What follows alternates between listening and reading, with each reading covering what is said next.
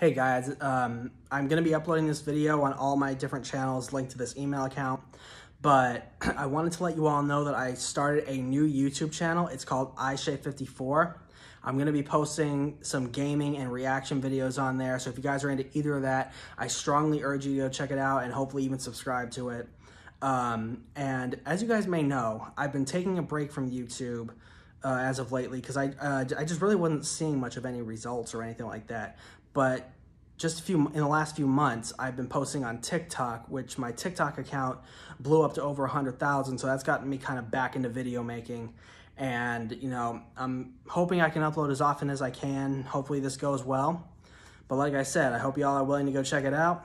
Uh, i already have one gaming video uploaded on there i posted four maybe five days ago was i attempted a minecraft speed run unfortunately actually you know what? i won't reveal any of the details but you know, I hope you guys are willing enough to go subscribe to that channel, and I look forward to making new videos on there.